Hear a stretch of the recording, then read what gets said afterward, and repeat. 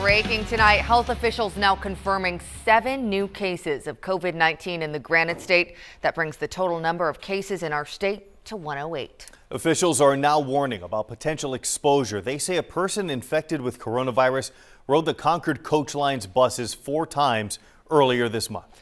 Now, according to officials, the person rode the 3:15 a.m. bus from Concord to Boston's Logan Airport on March 11th. Now, the second trip happened on March 13th. The person rode the 5:40 p.m. bus from Boston Logan Airport to Littleton. March 14th, that person took the 5 a.m. bus from Concord and ended up at Boston Logan Airport. And then two days later on the 16th, that person rode the 1:40 p.m. bus from Logan Airport to Concord.